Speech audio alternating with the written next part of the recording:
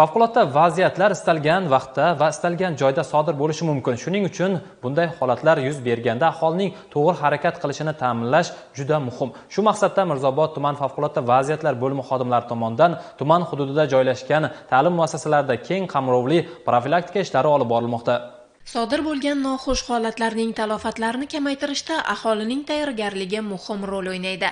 Ayni shu maqsadda sirdaryo viloyati favqulodda vaziyatlar boshqarmasi va uning hududiy bo'limlari tomonidan doimiy ravishda profilaktik tadbirlar olib borilmoqda.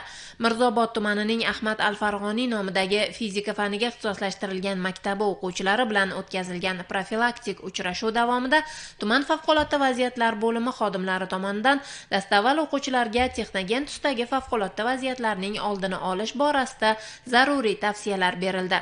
Shu bilan birgalikda tabiiy tusdagi favqulodda vaziyatlar ya'ni zilzila sodir bo'lganida harakat qilish ko'nikmalarini shakllantirish maqsadida amaliy o'qitish jarayonlari o'tkazildi. Jarayonlar davomida jabrlanganlarni evakuatsiya qilish va ularga birinchi tibbiy yordam ko'rsatish usullari mutaxassislar tomonidan batafsil o'rgatildi.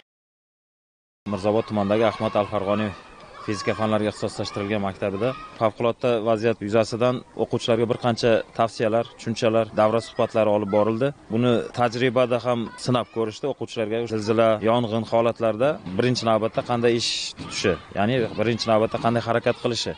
O'sha zilzila vaqtida yoki yong'in vaqtida amaliyot qilib o'sha o'quvchilarga ko'rsatildi hamshira jalb etildi. Sodir bo'lishi mumkin bo'lgan noxush holatlarda maktabgacha yoshdagi bolalarning xavfsizligini ta'minlash juda muhim.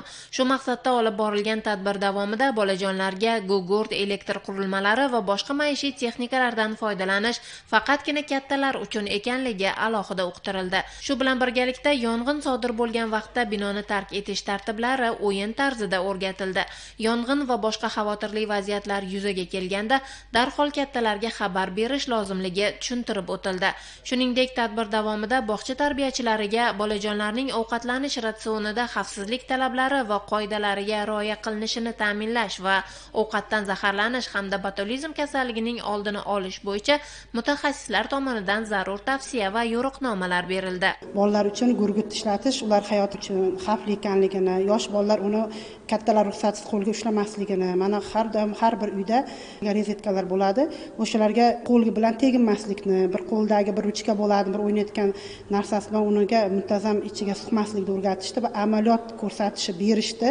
Bolalarimiz juda katta taassurotda bo'lishdi. Olib borilayotgan keng qamrovli targ'ibot jarayonlarida tumanda mavjud suv manbalarining holati o'rganilib ularning sozligini ta'minlash bo'yicha chora tadbirlar amalga oshirildi. Albatta bu kabi tadbirlar aholining xavfsizligi va xotirjamligini ta'minlashda o'zining ijobiy samarasini berib kelmoqda.